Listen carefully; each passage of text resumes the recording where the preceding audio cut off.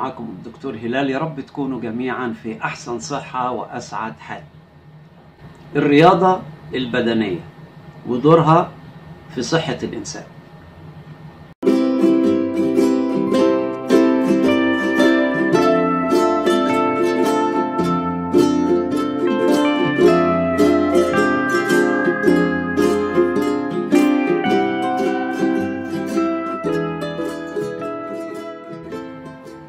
أنا بعمل الفيديو ده إجابة على أحد الأسئلة. واحد بيسأل بيقول إنه راح للدكتور بيشكي من كذا فالدكتور قال له مارس الرياضة وهتتحسن فبيسألني بيقول لي هو صحيح ممكن الرياضة يكون آه، نتيجتها تحسن حالتي؟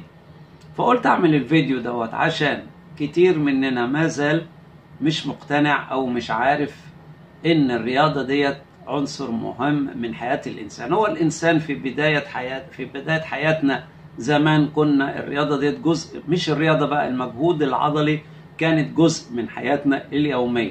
كان الإنسان طول اليوم والليل يعمل إيه؟ بالليل ينام وبالنهار ياكل ويبذل مجهود عضلي. كل شيء يعمله كان فيه مجهود عضلي. جت الحياة الحديثة فحلت الآلة محل عضلات الإنسان. أصبح الإنسان لا بيشيل حاجة تقيلة بتقوم عنه الآلة والحاجات اللي بتشيل.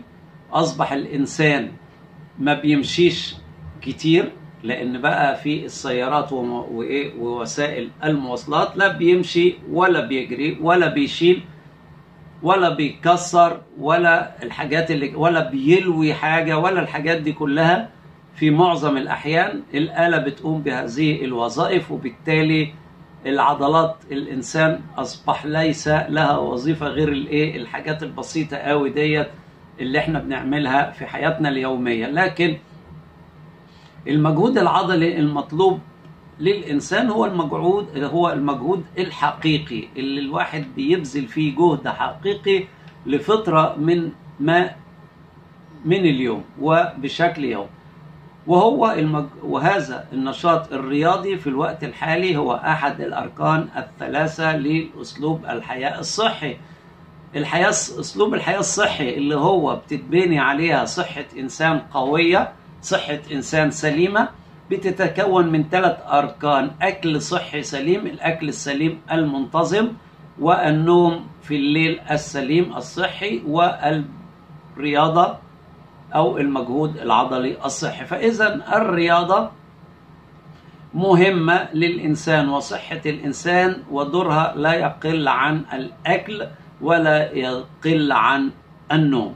الرياضة إيه هي الرياضة اللي المفروض نعملها؟ أي نوع من الرياضة؟ طبعا الرياضة الأيام دي بنعملها لأهداف كتيرة. هي في الأساس كلها محورها هو صحة الإنسان لكن في أهداف آه، أخرى يعني أو سطحية بتغطي هذا الهدف وهي آه، الترفيه والمتعة المنافسة في الألعاب الرياضية آه، حياة اجتماعية وما إلى ذلك فكل هذه الأهداف في الحقيقة هي بتصب في النهاية في تكوين إنسان قوي صحيح وكما قيل العقل السليم في الإيه؟ الجسم السليم الجسم السليم صحيا لا يمكن يكون الجسم آه، لا يمكن يكون الإنسان متمتع بعقل سليم قوي إلا لما يكون جسمه سليم وصحي. فاست يعني آه، آه، فالنصيحة بتاعت الدكتور لهذا المريض أو المتابع كانت نصيحة صحيحة ولكنه استغرب لأن الناس مش معتادة على هذه النصيحة. ودي لأسباب منها أن الدكتور نفسه ما بيكونش بيمارس رياضة. فيعني لما تخش على دكتور كده جسمه مترهل وكرشه قدامه والدهون ما شاء الله مالية كتفه وظهره والأرداف ماشي؟ فده هيقول لك مارس الرياضة إزاي؟ حتى لو هو عارف ومقتنع بس ما بيمارسهاش وشكله لا يدل على إنه بيمارسها فيقول لك إزاي مارس الرياضة؟ زي الدكتور كده اللي تخش عليه والسيجاره في إيده وقدامه الطفاية مليانة عقاب سجاير. الدكتور ده عمره ما هيقول لك بطل التدخين يعني شيء منطقي. فقليل من الدكاترة اللي هم منتبهين لدور الرياضة وبينصحوا بيها المرضى لأن لأن تقريبا آه، تقريبا كلنا في الوقت الحالي أو كتير منا في الوقت الحالي عارف إن الرياضة ديت ليها دور كبير في حماية الإنسان من الأمراض المزمنة. العافيه يا اخوانا عندي شرقه معلش. إنه آه، الرياضة ممارسة الرياضة بتحمي الإنسان من الأمراض المزمنة السكري أمراض الضغط أمراض الكبد كل هذه الأمراض. وحتى في حاجات إحنا ما نعرفهاش أو كتير من الناس ما تعرفهاش وهي إن ممارسة الرياضة ليها كمان تأثير مهم جدا على الراجل والست في الحياة الجنسية. يعني آه، ممارسة الرياضة ليها تأثير إيجابي على الحياة الجنسية وده بناء على دراسات اتعملت آه، آه، دخلوا عدد كبير من الرجال من الرجال في دورة رياضية منتظمة يومية لمدة 90 يوم. فوجدوا إن هؤلاء الرجال اللي دخلوا الدورة الرياضية بعد فحصهم ومتابعتهم لقوا إن هم بيقرروا إن نشاطهم الجنسي أفضل بكثير مما قبل. وبالمقارنة بالناس التانيين الغير ممارسين للرياضة لقوا فعلا إن هؤلاء الرجال عندهم نشاط جنسي أفضل وعندهم قناعة وارتياح ونوع من الثقة بالنفس أكتر. ونفس الشيء على الستات يعني حتى الستات الست النشيطة جسمانيا ورياضيا بتكون أفضل جنسيا من أو عندها نشاط جنسي أفضل من الست الكسولة من ناحية الرياضية من ناحية البدنية. ف وده برضه نتج عن أبحاث في أبحاث اتعملت على سيدات بأنهم بيمارسوا الرياضة آه، عملوها على ممارسة آه، قيادة الدراجات. وفئة تانية آه، من حياتهم الرتيبة ما فيهاش رياضة. قارنوا ما بين ده وده بالتحليل وبأجهزة تفحص النشاط الجنسي عند الست. النشاط الجنسي المهبلي درجة الإثارة الجنسية. فوجدوا عند الستات اللي اشتركوا في دورة الدراجات الرياضية عندهم نوع من الإثارة الجنسية بنسبة أكثر بكتير من الستات اللي لم يشتركوا. فإذا الخلاصة إن الرياضة هامة جدا وعنصر هام جدا في حياة الإنسان الصحية لا تقل أهمية عن الأكل وعن النوم الصحي السليم. فأرجو من الإخوة اللي بيسمعوني إن هم ما يهملوش جانب الرياضة أي نوع بقى من الرياضة يعني يعني آه، أي نوع من الرياضة؟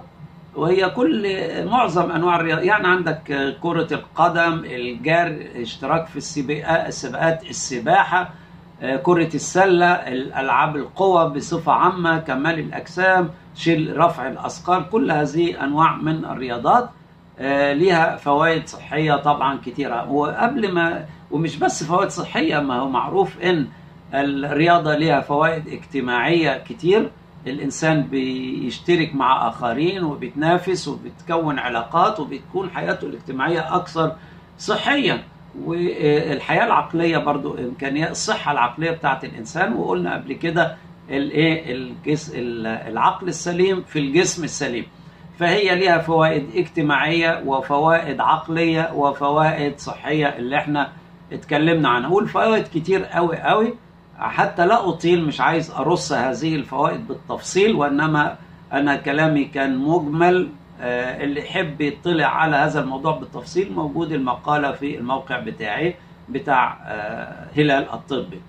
آه، فأرجو إنكم ما تغفلوش مسألة الرياضة ديت اليومية وبانتظام لأن هتلاقوا ليها تأثير على صحتكم بشكل واضح. وأنا في تجوالي في المناطق الإقليمية أو الريفية هنا لاحظت فعلا أن الناس في ناس معمرة جدا بتوصل إلى حد عمر 100 سنة وما زالت بصحتها وقوتها الجسمانية وده نتيجة إن هم عايشين على أسلوب حياة صحي حياة قروية الحياة العضلية يوميا أكل صحي في كثرة من الخضروات والفواكه بالإضافة طبعا بيناموا بشكل صحي جدا هي الساعة 7 المغرب كله بيبقى نايم 8 بالكتير نايم ويصحى بدري مع طلعة النهار 5 يعني بينام له سبع ثمان ساعات على الأقل يوميا. الجو الريفي هادي فبينام نوم عميق وساكن ومطمئن.